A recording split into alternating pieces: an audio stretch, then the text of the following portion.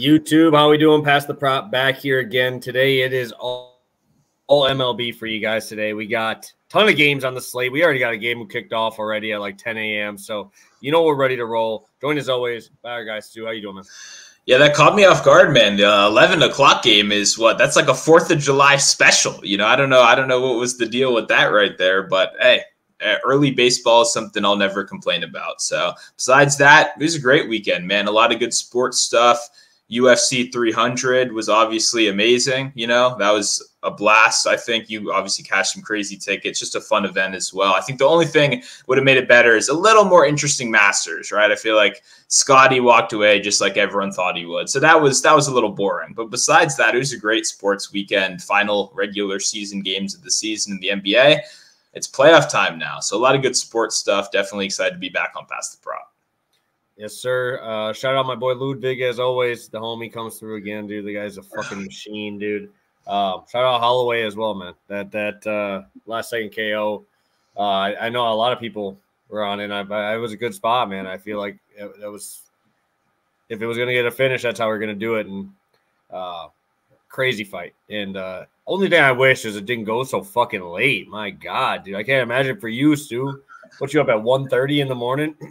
Hey, I was fired up. And at like twelve forty five, I can't imagine you guys. Yeah, yeah, that's yeah, that's always the tough part. Obviously, if stuff starts closing down, you know, or like last call or whatever, get out of here. But hey, I, it was a blast. I was fired up. You know, I didn't even care. I had no clue what time it was. So when you got a, a card that entertaining, you know, I, I, wasn't really, I wasn't too worried about it. But uh, definitely, I mean, I'm sure it made a lot of people like me, you know, want to watch more UFC. You know, guys that tune in just for the big fights and stuff. So that was a, that was a, a dope card. Definitely excited to to keep tuning in. Yeah, keep tuning in, but there won't be another one like that for long, long time, man. That was that was absolutely loaded. Um, but yeah, it's been good. Obviously, we're we're heading back into the MLB streets. Um, let's do a quick recap. We got about 12 of you guys in here first couple minutes. Appreciate you popping in early. If you got questions, drop them in the chat. We've already gone through most of these already. Um, we'll talk your NBA spots first here. Um, the last ones of the regular season, uh, and and they ended up going weird on us on there.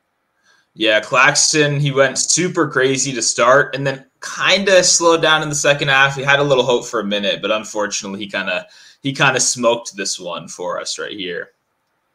And then the the brutal one. This one this one hurt a little. This one this one ruined my night right here, man. Oh my god. Eight eight shot attempts, what, four threes and he missed back to back free throws that left us on 5. He missed both of them. So he obviously just needed one or two right there yeah, that was. I mean, you know, you know, I don't, I don't complain very much. That was one of the the harder watches of the year for sure. Just come on, back to back free throws. I mean, you're already shooting twenty percent from the field. You can't like make one of them. Like, uh, that was that was a real mood killer right there. But he's, you know, 18, 19 years old, so it, it is what it is. That's what you get for betting on the young guys sometimes.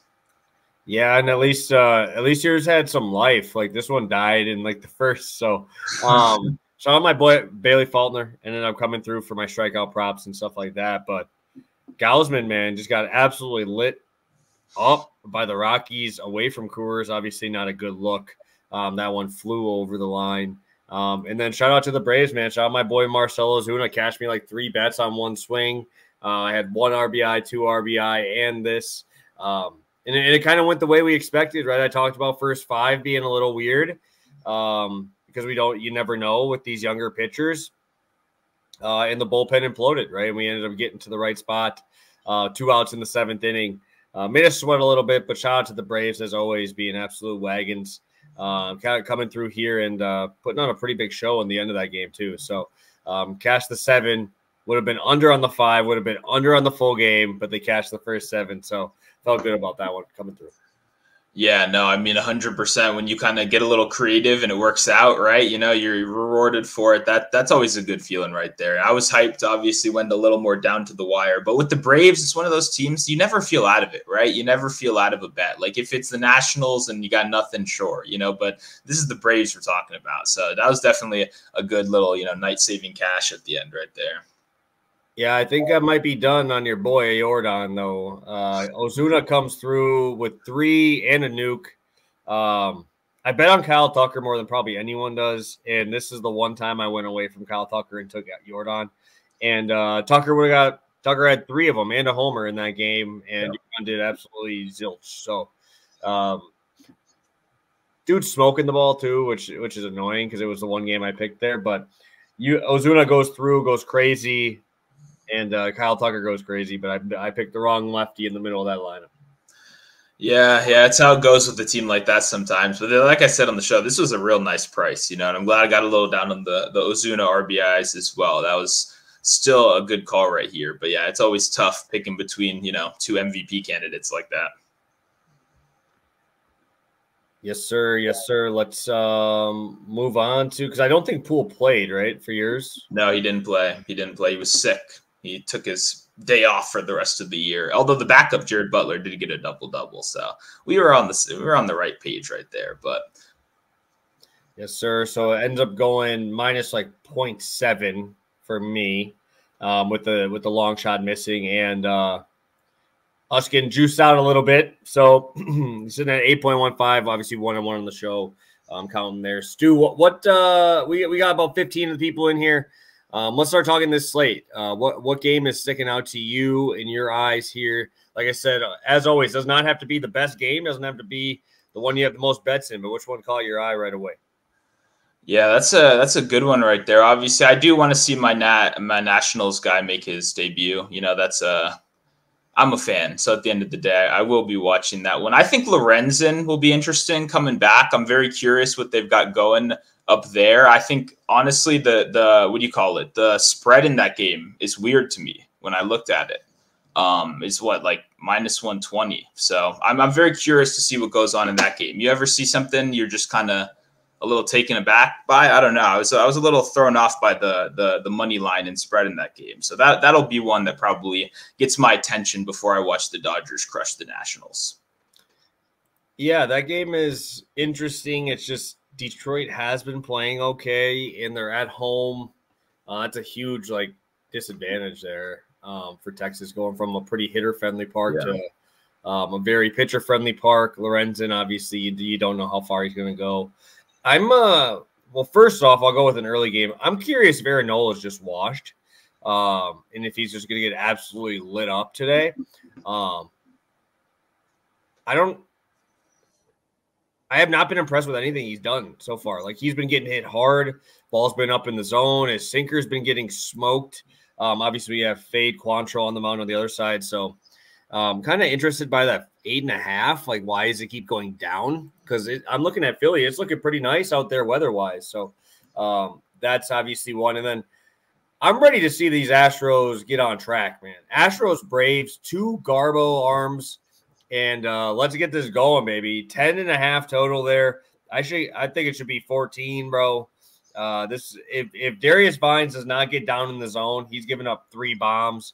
If uh, Arrighetti uh, finds a way to, you know, maybe throw strikes this time, maybe this game is not a hand early, but uh, that's definitely number one on the priority list. Two Garbo arms, you got a spread minus 112 minus 104 on those sides. So they know it's going to be close, and they know both arms suck, and they know both offenses are elite. So uh, let's see this thing. I think it'll be some fireworks. hundred percent. Yeah, I felt like that was the obvious choice. You know, you always want to like slide away, and then honestly, I have no clue who those pitchers really are too. Like when you look at it, two teams like that, you know. So I'm sure it's going to be some you know home run derby kind of environment, a lot of offense tonight, which obviously will be fun for sure. Yeah, and I, I, see the weather starting to heat up a little bit around places here. I know here um, in Wisconsin right now it's 70 degrees today.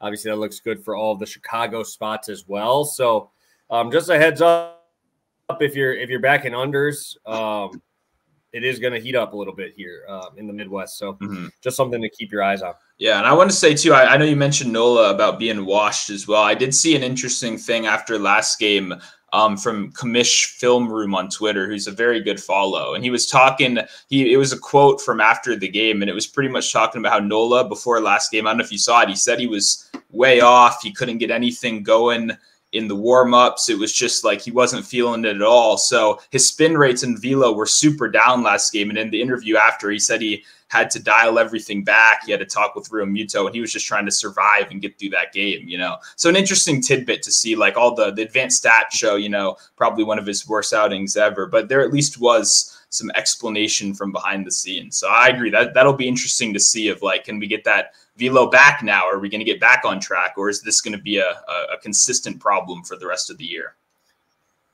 Yeah, I, I, that's the thing. Is I have no idea, man. You never know with those pitchers too, and you never know if it's like actually the case or if they're just like, all right, we're trying to figure stuff out early on in the season because we've seen a lot of these high end arms uh, kind of suck. So, um, George Kirby on the slate, obviously one of those guys. Kevin Gausman, um, a lot of these big name guys um, really struggling early on out of the gate. So, um, Stu, you ready to get into it? I am, yeah. I see we got a question too. If you if you have any thoughts on that right there on Soler in his first game back in Miami, I can just tell you I don't want to play any home runs in Miami, no matter who it is. But I don't know if you have any thoughts on that. Absolutely zero. Absolutely zero. I have absolutely no reason to want to bet that game. Um, Cabrera is a high walk guy.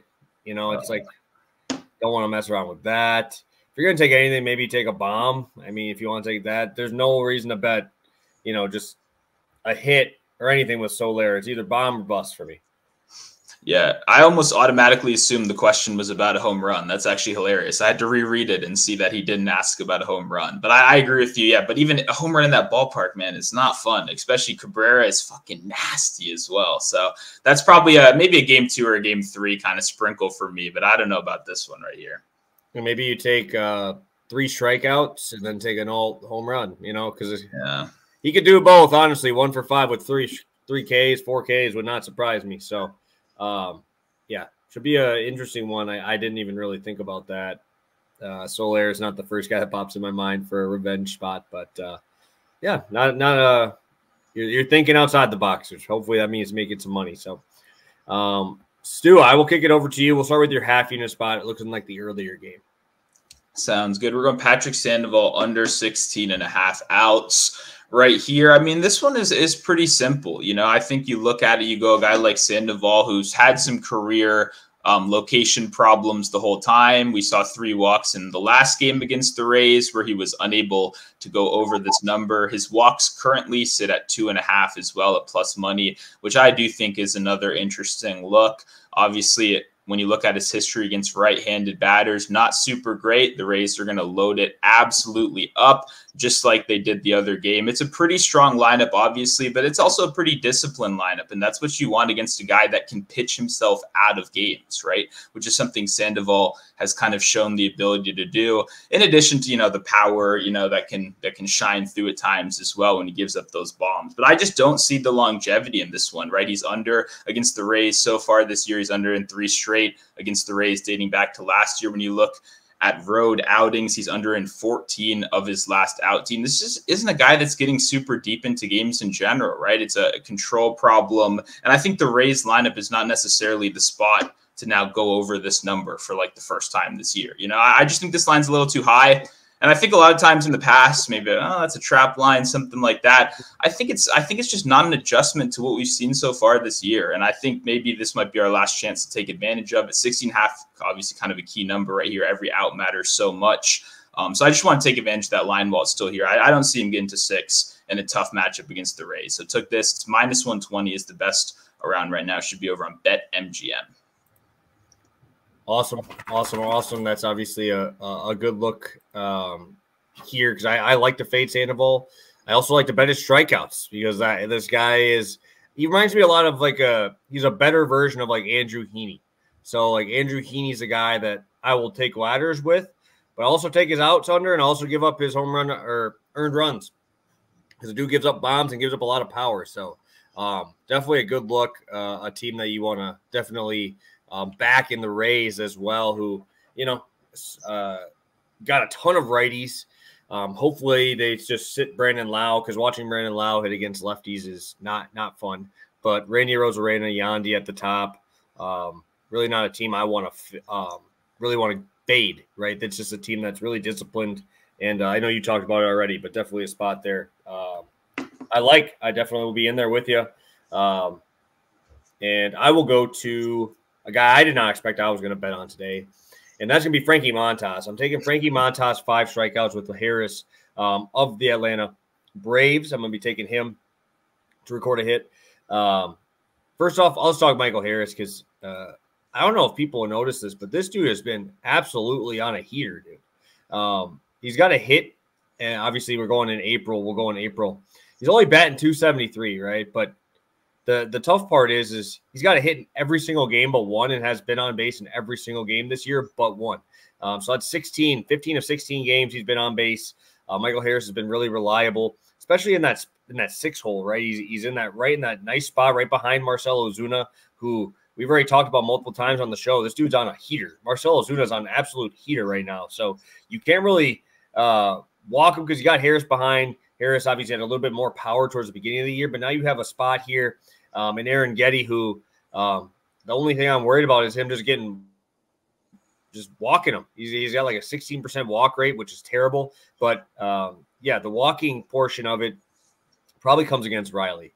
Probably comes against Olson. Both guys walk a ton. You can't really walk Michael Harris because he'll actually steal bases, right? He has the ability to swipe bases. Um, an elite bottom of the order with Arcia, Kelenic down there, and Travis d'Arnaud. It, this whole lineup is so deadly. It makes it tough. Houston has a very, very good high end bullpen, like the, the high leverage guys.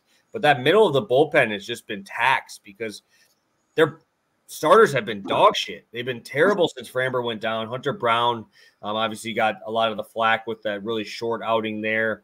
Um, they're, they're, having to throw a lot of these young dudes out there without Framber, and uh, you're starting to see it uh, start to wear a little bit. Um, also, with no Verlander there is really, really tough right now as well. So you're seeing these arms that are, not big league ready yet. They're, Arrighetti's not even a top five prospect in their organization, um, which is which is tough. Um, so I want to fade him. Um, I think Harris is a great price um, for this spot, and you know a lot less of the outside of yesterday, right? Was, he had a three strikeout day yesterday um, in that one, but really tough to K, right? He, he only had eight strikeouts in his previous 11 games. Um, if you want to go all the way through, it's like 11 and 14 games. So he's tough to K. Um, I think this is a good spot for him uh, against this. I don't even can. We'll call him a can. Um, then you go over to Frankie Montas. Um, not usually a guy I like to back in terms of strikeouts. He's not really a, a swing and miss dude. Um, but Seattle matchup, as always, you guys know I love to go there. Um, they are third in the MLB in strikeouts per nine, only behind Minnesota or only ahead of Minnesota and Oakland. Um, really tough spot um, for this Mariners team to face off against Montas because he's a heavy four seam guy, a heavy splitter guy. Splitters are really tough um, to pick up, especially in this ballpark. I feel like they're going to be trying to lift the baseball. You're not really able to lift the ball off of Frankie Montas. He's very good at getting ground balls um, and also hit this number in one game this year. I know that's not great, but the two games that he missed it were against my Brewers, who are deciding they're really good at baseball now in offense, um, which was not was not what I expected when I walked into the season. Was the Brewers to be an elite offense, but they're on one right now, so um, I'll give them some flack there. But also your Nationals, a team that don't strike out a ton. Um, but he hit it against Philly. Um, absolutely smoked those dudes. Um, and I think this is a type of game where we can start to see Frankie Montas get back to his old ways. Velo is up about half a mile an hour here. Um, he's out of the craziness of New York. You're getting a spot here in Cincy where they're good young team, and he's almost coming in as the uh, veteran presence. You saw Lodolo have a huge outing, went crazy. Graham Ashcraft threw well yesterday, got an 8K outing. I think Montas takes over here as uh, their de facto number one until Lodolo really gets um, back his feet underneath him. So I think both these dudes have a have a great day. Um, really like Montas today as a as a spot for me to be contrarian DFS as well. Yeah, I like this a lot. I mean, it's kind of I feel like what we always do in here, right? You pick your spots, you find the teams you want to target, and then when there are names that you know the market isn't as high on, you know, you take advantage of it, right? A guy like Montas, I'm sure, is not someone the Twitter streets are begging to bet on today, right? It's just one of those things that we've had a lot of success targeting that Mariners team, and I think Montas should be in a good position to keep it going. So definitely like this parlay right here. Yeah, swing and strike rate isn't great so far this year, but yeah, your national's pesky. That's why I'm really like I'm really interested tonight to see how they do against Glasnow, who's obviously the elite of the elite, probably the number one pitcher in baseball at the moment in terms of strikeouts, um, without Strider in there. And dude is so good, like so good. I'm curious to see if this if this pesky national team can put the ball in play. Um, maybe like a I'm I mean, if they can't, maybe it's an alt over. You can do an alt under as well because we've seen them go against some pretty good pitchers. And uh, yes, they have great outings, seven innings, two runs or whatever, but they only have like four or five Ks, right? So I mean, this could this is a very fun game for um, if you're a prop betting guy because it's like it could go very very much both different ways, right? Yeah, I think the the biggest difference from last year is now Joey Gallo is in there. I believe he K'd four times yesterday by himself. You know, I think his Ks is two and a half today as well. So that's always like a, a, a new free square that wasn't there last year, essentially. You know, so that is definitely um, the concern. But I agree, a lot of interesting prop stuff in that one. I have a, I have a couple under like parlay pieces so far. I have Meneses under one and a half hits, runs, RBIs, but it's like minus one ninety. You know, so you got to parlay that up with something else. But I agree, definitely. Uh, hopefully, it's not too depressing for me and my nationals, but should be a good one. Yes, sir. Yes, sir. And uh, we spoke about that game already. Oh yeah, Puck got scratched this morning at like 8 a.m. So um, just a heads up there. I'm not sure if he's going to pitch this um, this series, but talking about that game, Dodgers taking on your Nationals. I see you have a bet in that one, so let's get over there. Sounds good. We're going Teoscar Hernandez over one and a half hits, runs, RBIs, minus 120. As soon as I saw this, had to click on it, get that bet in as soon as possible because obviously it's going to be a rough game for Washington, like you already mentioned, facing one of the best pitchers in baseball, facing one of the best teams in baseball, and now you're calling up a rookie, and you were just mentioning rookies that are not ready to go. This this seems like a a pretty clear case of that, right? Josiah getting injured, a couple pitchers getting injured earlier in the season has kind of forced their hand, and they got Rutledge down in the minors. He's their top most ready prospect. But guess what? When you have a top most ready prospect that's been battling injury for a while, it isn't quite ready. You don't throw him to the Wolves and you don't give him to the Dodgers. So they said we're going to wait a little bit and we're going to call this guy up, and that's that's very scary to me as a Nationals fan. Obviously, a lefty. Um, we don't know too much about him so far. Besides, he had some solid K numbers in AAA last season. Um, but he, once again, he was like a fifth round pick, kind of came out of nowhere. Like this is not a high end prospect that everyone's been waiting for. This is a okay, I guess we'll see how that goes kind of game, right? And when you look at it and when you look at how scary this Dodgers lineup, I know like Mookie and Ohtani and, you know, the bigger names will probably come to your head first, but all those numbers are at two and a half right now, right? Teoscar a little bit farther back in the lineup, but this hits runs RBIs. We want the RBI opportunities, and who better than to have the best players in baseball hitting in front of you? And man, I was looking at it. I saw some insane stats with Teoscar so far. Beside the fact that he's just like good against lefties, right? So far, 330, you know, 720 slugging and limited sample, but that backs up his career good power numbers against lefties. So far this year, guys, over 50% of his plate appearances have come with runners on base. Over a third of his plate appearances have come with a runner in scoring position so far, right? 75 plate appearances, 39 of those, there was a runner on base. 26 of those, there was someone in scoring position, right? I mean, this is like the mecca of hits, runs, RBIs. Like this is the like the team, right? This is I mean Will Smith, like Freddie, right? So many guys around him, Mookie, Ohtani. Like this is the best lineup there is. And obviously it, it's concerning like walks and stuff like that. But the way I look at it, like you got to make it through those guys first. And if there's someone more likely to get walked, I feel like it's like a Freddie Freeman of the world, right? That lefty on lefty brutal matchup, you know, Ohtani, same with that. A, a, guy making his first ever start. It feels like those are going to be the guys that are walked on base. Well, a guy like Teoscar is going to be the guy that you need to throw that challenge fastball against because you can't walk him, right? You can't just keep walking these guys. So I think he might actually – be the beneficiary of that. So a little bit of unknown with a young pitcher on the national side, but to be honest, it just feels like this should be a two and a half number. I mean, the rest of the the you know heart of the order is. I think uh, we're getting a little bit of disrespect on my guy Teoscar. So I definitely think this is a great look. Minus one twenty over on MGM ESPN. Yes, sir. Yeah, I know. I, I heard a stat too about last year was Will Smith was number one, I think, in MLB in um, AB is with a runner on base. It was like 63% or 61%. and Muncy was number two, uh, number one, right? I think was one Muncy, two was Will Smith, and obviously Teoscar moving in behind those guys um, makes it pretty nice because obviously you want to have um, a little bit of that mixed up with the lefties in there as well. Um, but yeah, I, lo- I, love me this Dodgers lineup today. Um, I'm sure they'll be chalk and DFS, so it makes it a little tough. Um, but I will be heading over to another game with with a garbage can on the on the mound. And Cal Quantrill used to be my boy. I used to love backing him in Cleveland out there. Unfortunately, today he's heading into Philly, um, into a tough spot.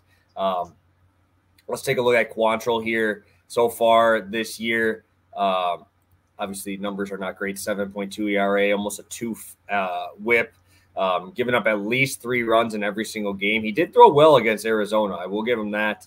Um, got 10 ground balls though, and I don't expect a ton of ground balls. He's not really a ground ball guy. This year, he's only got a 40% ground ball rate. I don't expect um, those big type of numbers, but 9.4% barrel rate, highest of his career. Obviously, not good. You look at his sinker is getting hit. Um, he's got an expected batting average of 360 with an expected slugging of almost 700, an actual slugging of 900. This is a dude who's just not missing bats. You can't do that against this Phillies lineup. He's got a 14% K rate, um, which is actually better than last year. He had a 13% K rate last year. Um, he's got, like I said, a 7.2 ERA. But the thing that's killing me is is a seven and a half percent walk rate. When you're not a guy who blows up bats, you can't be putting free guys on base. And this Phillies team is dangerous, man. It's a dangerous lineup.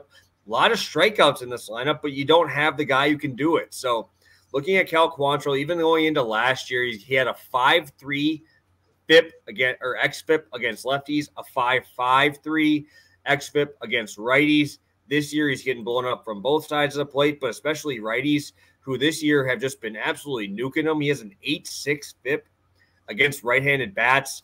Um, well, yeah, let's sign up Nick Castellanos, Trea Turner, Alec Bohm. Like, just sign me up for that. And then if you're not going to miss bats against Harper and Schwarber, what are you going to do? Like that's how you get them out. Is they're high K rate guys. Um, I love this spot. Even if Cal Quantrill has has a has a quality start, six innings, three earned. Let's go to this bullpen, the the worst bullpen in the MLB. Right? They're they rank worse in terms of WHIP by over a tenth of a um, walk or hit. It is really scary to do that. Right? You have a 1.83 WHIP you have a 5.97 ERA as a team. Their team has one save this year.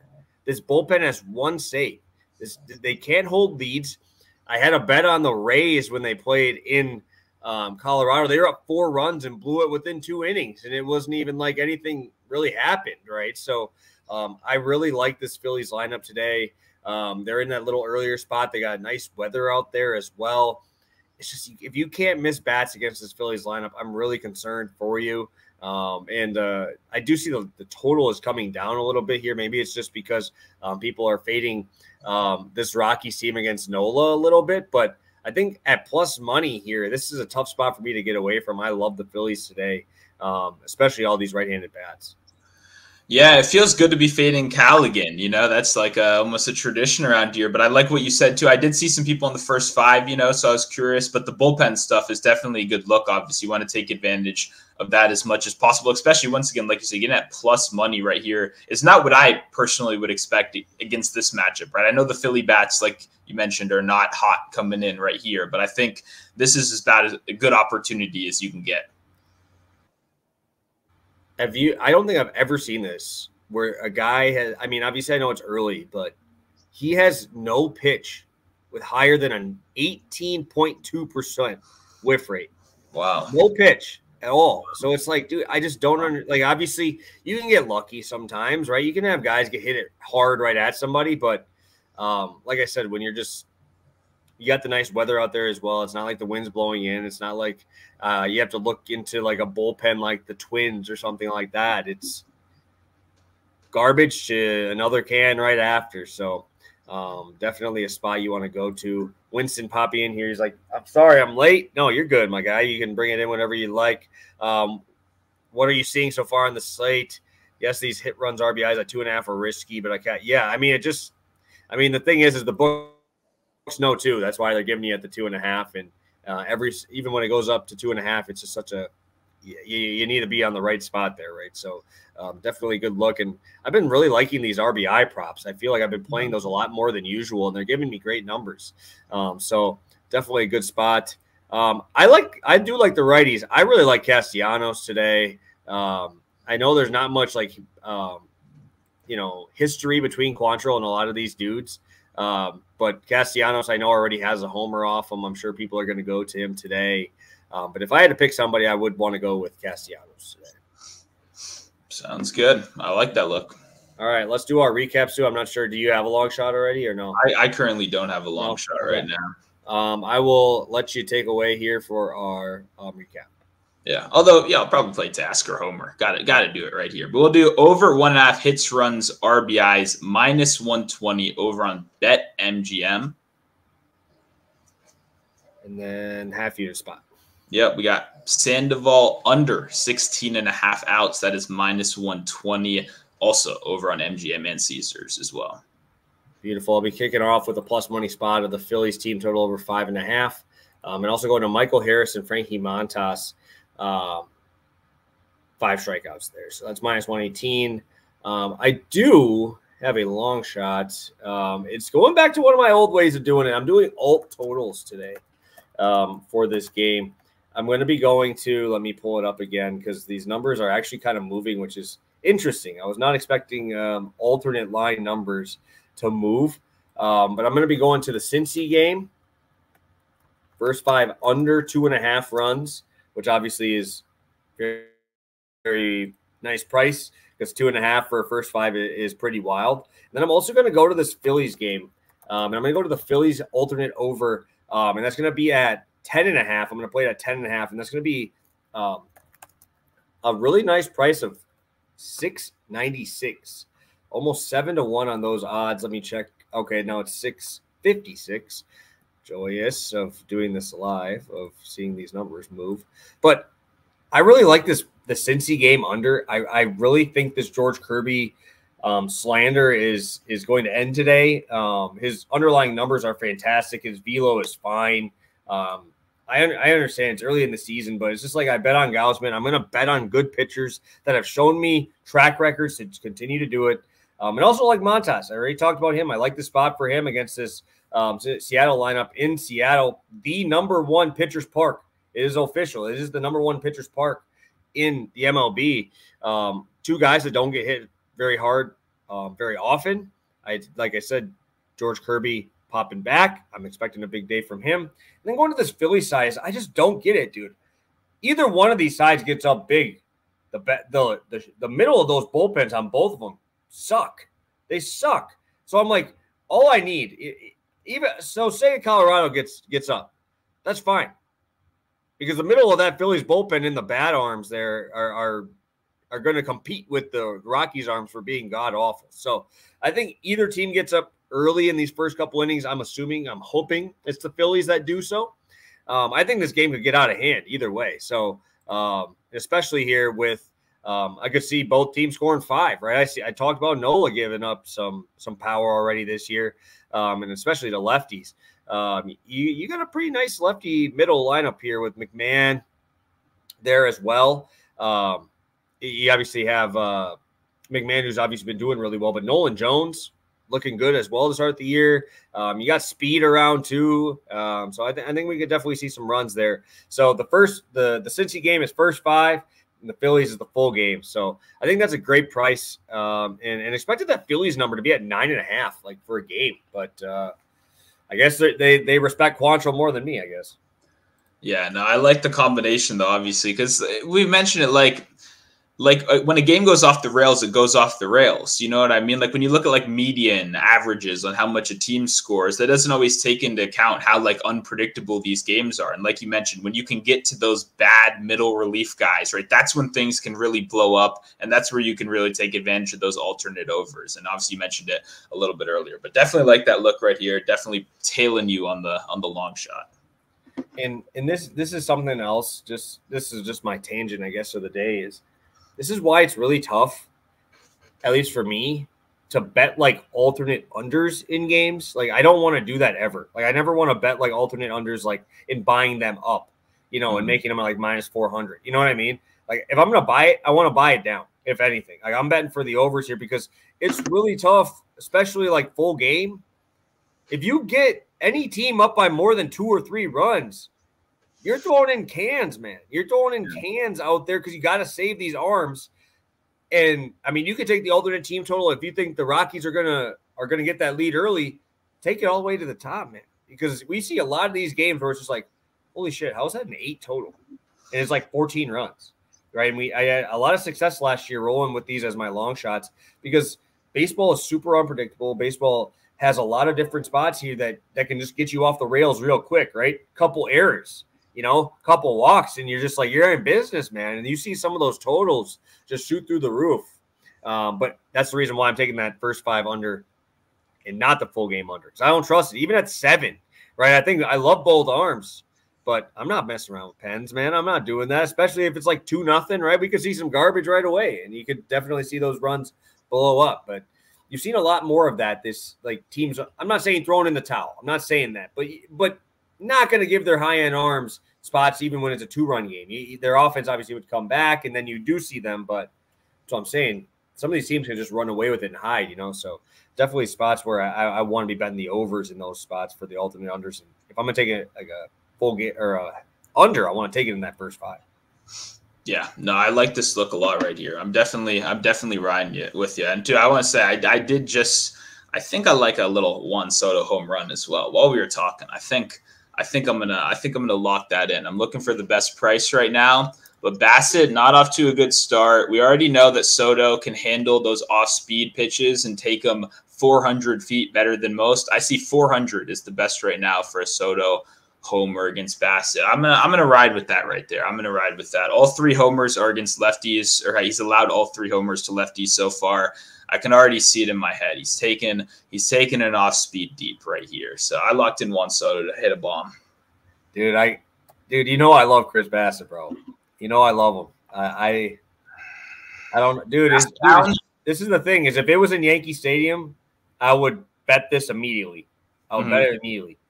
Chris Bassitt's home road is so wild, bro. Like this dude can't do anything on the road.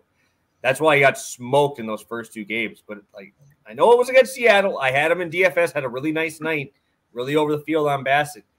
Kind of on that Bassitt train. I'm not saying Soto can't hit a homer in that spot, mm-hmm. but bro, the dude is kind of nice at home. and I don't get it, bro. I don't get it. I don't understand how you can be that different. Seven three versus one three so far this year. Last year was a four and a half to a two eight sub 200 average against. Obviously, there's enough power in this lineup to do suit some damage, especially lefties. I think had like 20 plus homers on them last year. So I guess you're looking for yeah. that.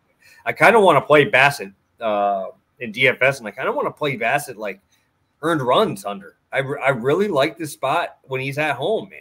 It's just like it's just like when I was playing Cal two years ago. Remember when we would be on the first year of MLB? You know, mm. it's hmm. just like the dude just finds a way to get shit done at home. It's wild.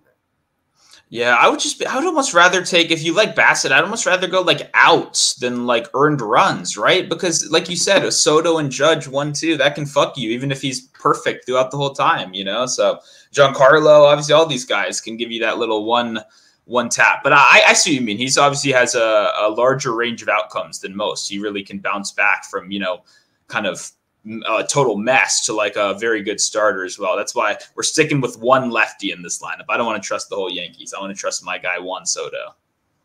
Yeah, I mean, I, if anything, I'd probably take walk. I'd probably take a Juan Soto walk in this one. That's that's all. But what's that like minus two hundred? I don't have. I have no idea. I have no idea. Yeah. I would too. You know, I'm with you. Obviously, I'd yeah, take one yeah. to walk. I wouldn't throw to him. Why would I throw to him? Because I can get righties out, and that's pretty much the rest of your lineup. You know what I mean? That's what yeah. I. That's. I'm always thinking like that though. I guess I'm a pitching guy, so it's like, fuck. I would. Why would I want to throw this fucker? You know, like that. That's just me though. That's just. That's just the way I think about it. Well, I see. I see minus one seventy five for a walk right now. So not, probably, dude, that is. Not, I. That is uh, throwing Dodgers money line and you got a reasonable play, you know, not just oh, a placeholder, but you know. I might take that shit right now, bro. Honestly, like I might do as a hedge to my home run. I don't want to see him get walked three times. You know, I, I might have to load that up.